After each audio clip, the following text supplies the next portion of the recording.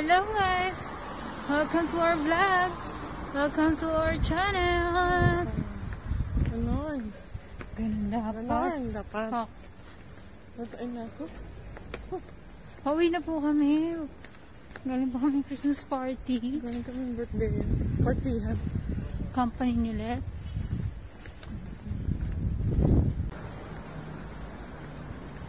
Nasa na madaling araw dito sa Bahrain. Sobrang lamig guys.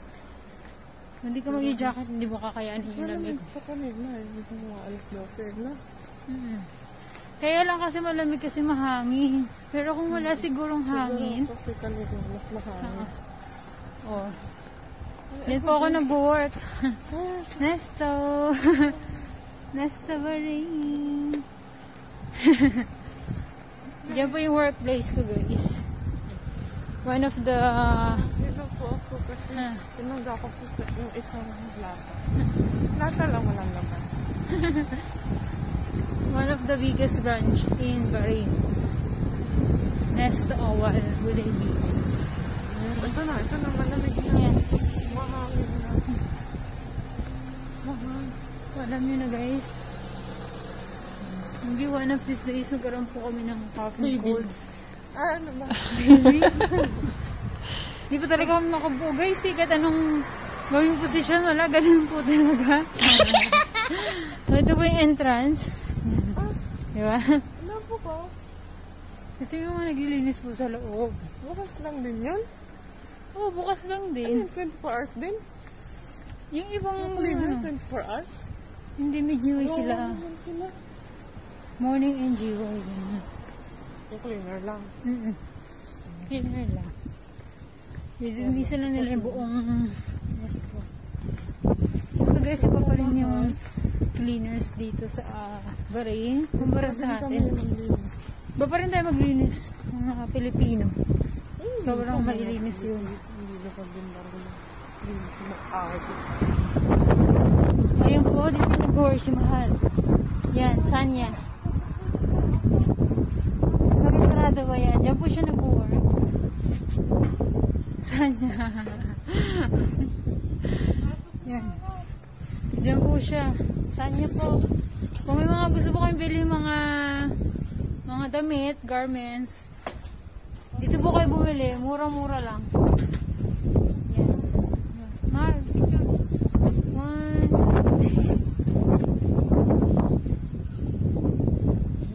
Diyan po siya nag-work. Parang two steps behind lang nung mula yun nung trabaho ko sa kanya. Effortless. Napaka-effortless. Sana forever na lang ako dyan until one year. Hindi na ako malipas. Ako rin sana. Pero sa company kasi Okay na ako namin, maglakad ng 15 minutes. sa company kasi namin talagang Maglakad possible na ng- possible na malipat ka. Kasi nga may mga yung mga ibang branches around Ano Bahrain. na, mag next year na, lipatan na. Oo, malilipat na naman po tayo. Hindi po natin alam kung saan po tayo malilipat. A-update po namin kayo dyan. Okay? Ako lang hindi. Sana, pag-pray mo.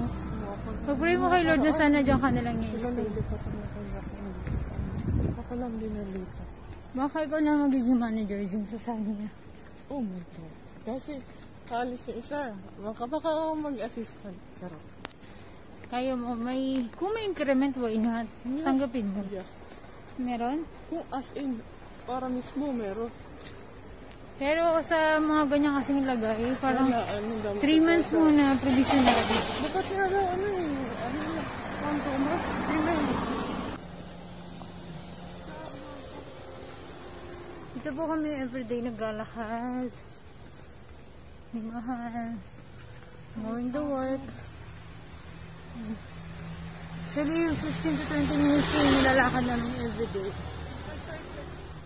Lalo na kung ano ka pa. Break shift ka.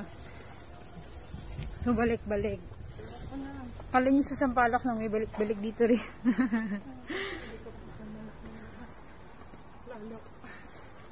Sa Pilipinas naman, parang sanay naman tayo na naglalakad, di ba? Lalo pag na-assign ka sa mga ah, BGC area, Makati, Ortigas. Ganun. Mga ganong lakaran kasi Kamusta yung ano? Yung sa mga tagi ganyan. Isa, MRT ng ano? MRT ng show. oh, isa pa yun, di ba? Kung SM Mega Mall ka.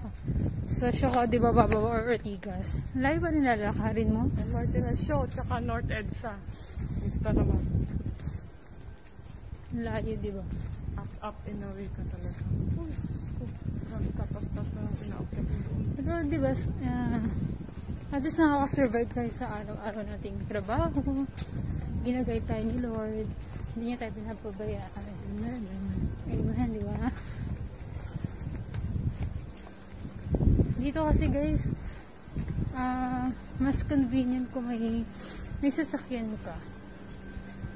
Kasi parang pwede mo nang malibot yung baray ng isang araw kung may sasakyan ka. Libot-libot lang. 24 hours Saan mo lang siya, pwede mo marilibot. Ganun na rin yun, malilibot mo na rin. May sasakyan ka, tsaka ang mura dito ng gasolina.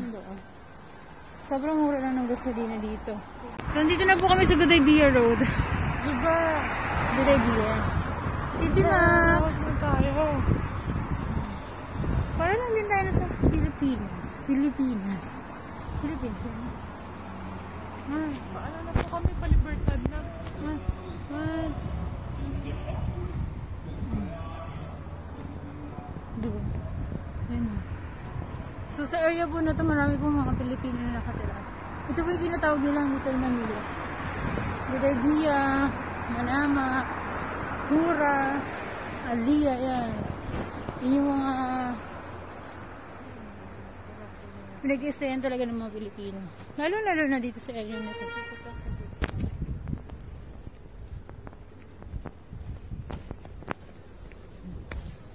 Ganda ng mahal ko. I love you. I love you, mahal.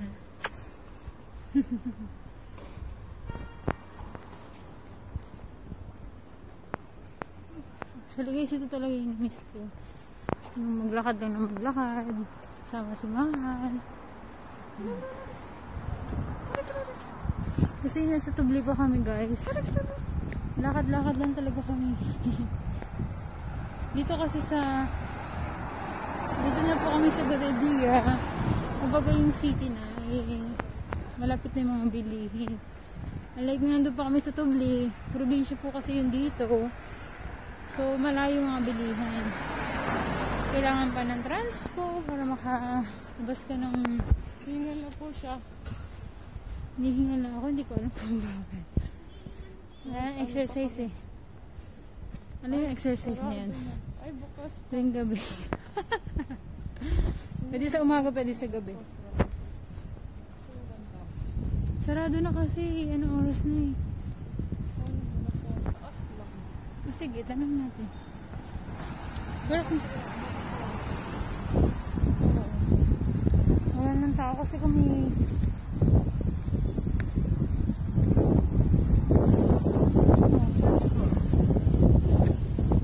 Ito kami sa Cafe. Mga sasyahan.